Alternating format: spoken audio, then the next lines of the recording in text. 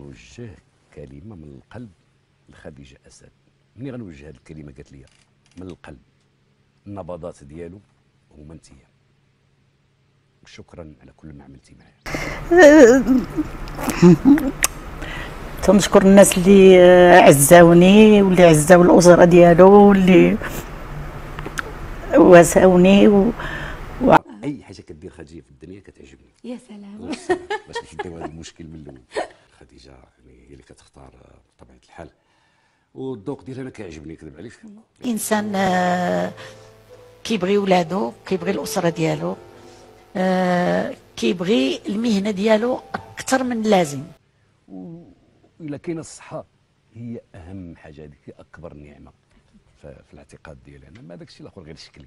بحال شي قميجة كتشريها زوينة على مود كدوز في موضة وكتحيدها.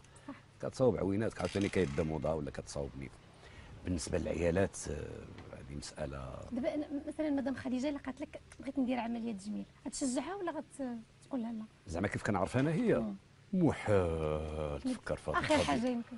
محال كيف كنعرفها أنا؟ ما نظنش. ما نظن. كتقلبوا على الراحة.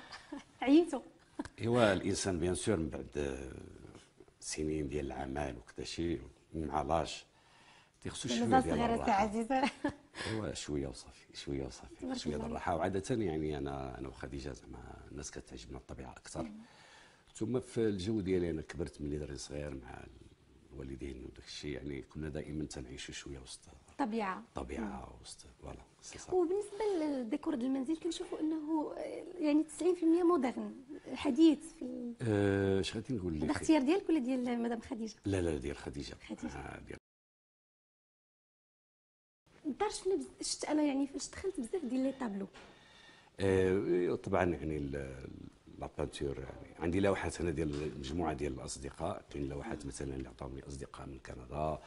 كاين مثلا هذا الهبولي كاين السي عبد القادر العرج اللي عمل لوحة خاصة في الجو ديال المسرح. كاين السي سنوسي يعني مجموعة ديال الأصدقاء. والإنسان تيخصو ساعه ساعة كي قال هذا كيخضر عويناته. حظوظه هذا النهار مع السي أنا اللي محظوظ. أنا اللي محظوظ باستقبالكم. رأيك؟ في الطبيب النفسي. ما- مسألة طبيعية اللي كضروا الدرس اش كيدير؟ كيمشي عند طبيب ال dentiste. سنان. أييه. واللي كيضروا شي حاجة في الجلد ديالو كيمشي على الطبيب الجلد. أكيد. واللي جاتو une dépression راه بالطبيعه غادي يمشي عند عند الطبيب انت النفساني مشيت ضد الفكرة. طبعا لا. سبحان الله غير اللي كيبغي يعمر في الفنانة القديرة الكبيرة خديجة أسد والزوج ديالها نفقوا الأموال الطائلة على هاد الفيلا هادي وصغبوها بالذوق ديالو. وكنشوفوا سعد الله الراقي بالأفكار ديالو واحد الشخصية اللي ما غادي تعاودش. كيفاش كيقدر مراته وكيفاش كيحترمها؟ وكيصرح بهذا الشيء علنا وكيعبر على مدد الحب ديالو ليلى. ومن لهنايا كنعرفوا السبب اللي جعلها أنها تحزن عليه بزاف حتى سبقاته فالحب اللي كان ما بيناتهم كان حب كبير وقوي لواحد درجة كبيرة لدرجة أنها ما قدرتش تعيش بلا بيه. وكيف لا وأنه رفيق الدرب ديالها والتوأم ديال الروح ديالها. كنتمنى من الله سبحانه وتعالى يتغمضهم بالرحمة ديالو ويثبتهم عند السؤال ويلاقيهم يا ربي في الجنة. كنشكركم على الاستماع أعزائي المشاهدين والسلام عليكم.